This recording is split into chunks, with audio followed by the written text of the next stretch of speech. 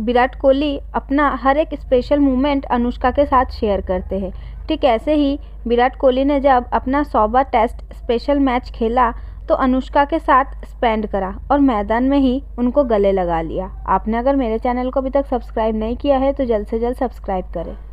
विराट कोहली के लिए शुक्रवार का दिन बेहद ही खास था। इसी दिन वे अपने टेस्ट करियर में सौबा मैच खेलने उतरे। मैच से पहले विराट कोहली ने ये उपलब्धि हासिल करी कि सम्मानित भी किया गया और उनको ये पल बेहद ही खास लगा। कोहली ने ये उपलब्धि श्रीलंका के खिलाफ दो टेस्ट की सीरीज़ खेलने से पहले हासिल की।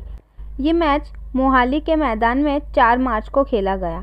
मोहाली टेस्ट में टॉस के बाद टीम इंडिया के कोच राहुल द्रविड़ ने विराट कोहली को सौवे टेस्ट के लिए सम्मानित भी किया और द्रविड़ ने कोहली को एक स्पेशल कैप सौंपी। इस सम्मान के बाद विराट कोहली काफ़ी इमोशनल हो गए। और सम्मान के दौरान कोहली के साथ उनकी पत्नी, जो बॉलीवुड की फ़ेमस एक्ट्रेस है, वो है अनुष्का शर्मा भी मौजूद रही।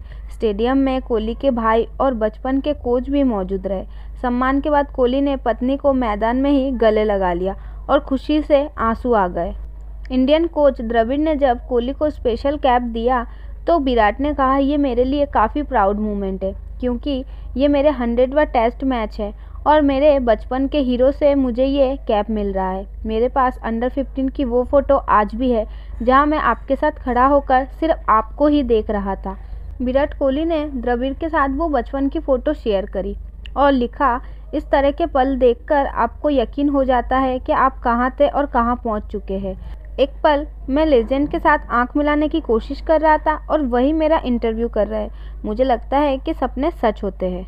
कोहली से पहले दुनिया के सत्तर खिलाड़ी और भारत में उनमें से ग्यारह खिलाड़ी ऐसे हैं जो अपना सौवा टेस्ट मैच खेल चुके हैं। विराट कोहली के बारे में आपके क्या विचार है, आप मुझे कमेंट बॉक्स में ज़रूर बताइएगा। आज के लिए इतना ही, मिलते हैं नेक्स्ट वीडियो पर। वीडियो को लाइक और शेयर करना मत भूलना। थैंक यू दोस्तों।